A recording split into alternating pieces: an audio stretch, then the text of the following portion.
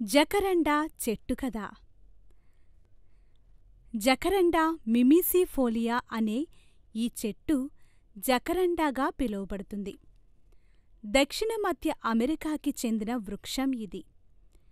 ఇది ఉష్ణ ప్రాంతాలలో ఎక్కువగా పెరుగుతుంది.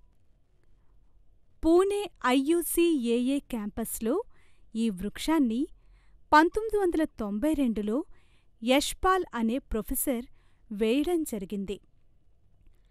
ఈ చెట్టు నీలి ఊదారంగు పువ్వులు కలిగి ఉంటుంది.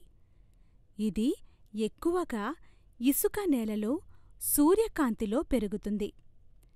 హిందీలో దీనిని నీలి గుల్మహార్ అంటారు. ఎందుకంటే వీటి ఆకులు గుల్మహార్ చెట్టు ఆకులలాగే ఉంటాయి.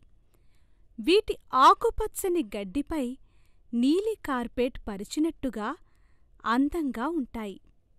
పిల్లలు వీటి పువ్వులను ఏరుకుని ఆడతారు.